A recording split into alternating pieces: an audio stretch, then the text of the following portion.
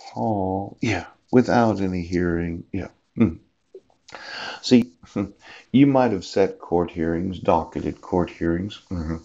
but there's one thing uh, going to court, yes, and explaining, well, I didn't get any notice, yes, I wasn't in Sequim, yes, I didn't violate the restraint provisions, yes, and there's another thing to say, well, we don't believe you, yes.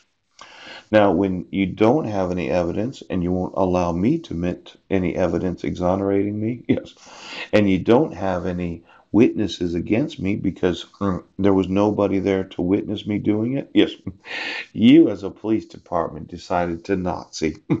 What did we not see? hmm The complete suspension of all laws. now, this this this hearing, and then uh, Bruce Hanafy, yes, Jack Range. Mm, mm, mm. But did anybody pay you Mhm. to deprive me of competent counsel? Yes.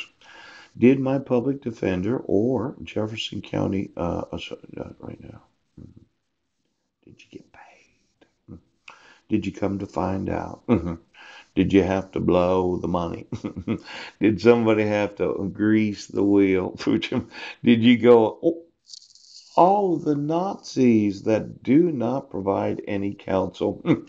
now, you might be a public defender, but you didn't defend me right now. Now, uh, became the method of inflicting inhumane punishment, yes, on any whom the Nazi police suspected or disliked. now, as I mentioned, yes, I am not well liked in the Sequim Police Department. Yes, mm-hmm. I'm not well liked in the Sheriff's Department.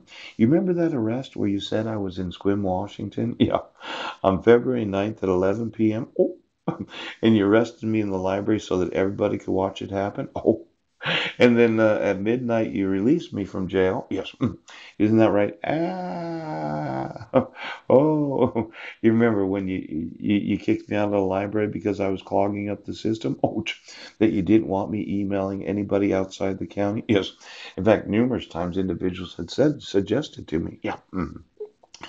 you know these emails are not doing any good, Paul. Yes, you're really not doing any good. Yes. But every time I email another police department Seattle, yes, I get to sue them for being complicit in your crimes. Yes. Every time I email the civil rights employees of the city of Seattle, I get to sue them for being complicit. See, you not doing anything means that you're an accomplice to the crime. Pooch. I email the inspector general of the city of Seattle. Yes, I get to sue them. Pooch. I email the city council and the mayor of Seattle. Which I get to sue them for being accomplices mhm, of the war crime. Yes, of depriving Americans